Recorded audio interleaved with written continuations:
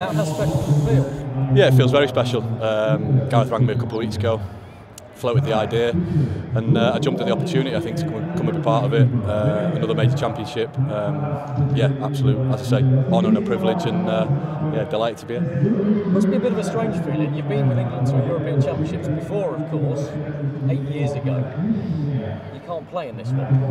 How does that dynamic work? Yeah, it's different. Um, but I think it's just a different challenge for me. I think to support the boys, the goalkeepers, the outfielders, um, you know, push them in training, try and offer them a different a different perspective, um, and support in that manner. Of, of course, I'd, lo I'd love to be playing. You know, I'm, I'm, you know, a football player that, that uh, wants to play football matches, but it's not that role, it's a different role. Um, but any opportunity to, to come and represent your country in, in some form, um, you know, as I say, it was, it was, a, it was an amazing phone call from me and uh, didn't take me long to say yes. Of course, if any of the goalkeepers get an injury before England's first game, then you could be playing here. Yeah, I think um, yeah, I think look, that's in the rules, but that's not the, that's not the objective here. Uh, you know, they've got three goalkeepers that, that have uh, taken their place on merit, and that's rightly so. That's how the English squad should be uh, should be made up. Um, so yeah, uh, uh, yes, that's in the rules, but that's not the objective from my point of view. The objective is to be part of a, a successful team.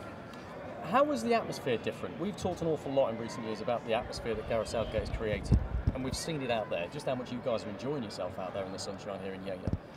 How is that different, maybe from when you were last in the squad?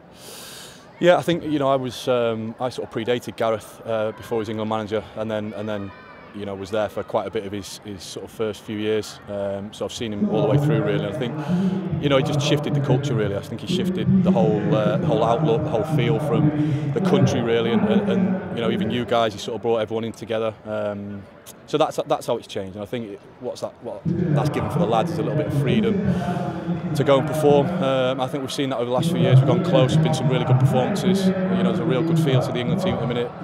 Um, you know, of course, there's expectation because we've got a good side, but you've got to embrace that. I think you can see that at the minute. We've got you know fantastic players. Everyone's hungry to be in the shirt, um, and of course, we're, you know, we're going to try and make it successful. How's the training base? It's about as good as it gets.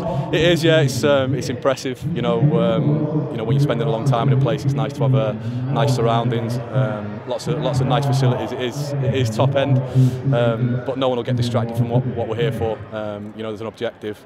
Yes, we want that. It's nice to be uh, enjoying it while you do it, of course. Um, but we all know what the main focus is. Last one from me. No excuses. There is, I mean, this is something Gareth Southgate talks about a lot. Facilities, preparation, standards being as high as they possibly are. So no excuses about performances not being the best on the pitch. You've been inside the camp now. They've had some injury problems, but is this a team that can win the trophy? Yes, I think so. Um, you know, of course, you say no excuses. That that's dead right. You know, everyone wants to perform, but at the end of the day, it's sport, it's football. Um, it's never. It's never straightforward. All you can do is give yourself the absolute uh, best chance of going to deliver um, performances, good performances, give you the better chance of getting the results. That's what we're here to do. Um, so yeah, as I say, everyone's everyone's enjoying the challenge and going to embrace it. Oh, what, what's the from Euro 2016 to now? Has the mindset changed? Did we perhaps go into that tournament that you were a part of not believing that we could win?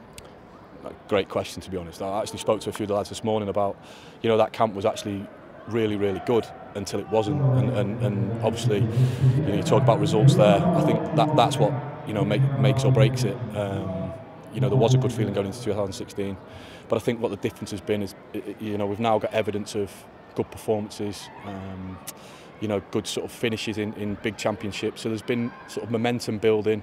There has been a shift in culture. The lads have embraced it. So I just think we're closer to being successful than, than then, and, and there is some hard evidence to back it up, so there's more belief that goes with that. So yeah, I think there is differences. You know, as ever at elite level sport, the margins are fine, um, but I think we're starting to get a lot closer to those to those margins. As someone who has a better, judge, uh, better judgment than anyone, what, what has this pool of goalkeepers that are in the squad like in terms of talent? Because sometimes they get underappreciated. Yeah, it's a tough position, goalkeeper. We, we all know it. You know, I've uh, been a pro for a long time. It's, it's a real tough position. England goalkeeper is one of the toughest. Um, and I think you know Jordan, his performance has been absolutely outstanding. Um, Aaron and Dean, obviously, you know, Aaron, young goalkeeper, done exceptionally well over the last few years. Um, Dino the same, obviously. I know them all individually really well, and they all offer something slightly different. So I'm delighted to be working with them. Um, and yeah, I hope I can support in any way. Really. final one from me. I know you're here in a, as a training goalkeeper, but you're obviously still loving every second of it. No sign of you hanging on your gloves anytime Nah, definitely not. You know, I um, for me it's all about feel. I still feel I still feel bang at it. I still feel good. Um, you know, I've had a couple of weeks holiday and, and, not done very much, so to come in today and get up to speed. Um, but if I'm honest, I enjoyed it. You know, it it, as I say, it was great to be back out there. But cer- certainly no thoughts about that. Why I still feel good, um, I'll still be chomping at the bit. Cheers. Well done.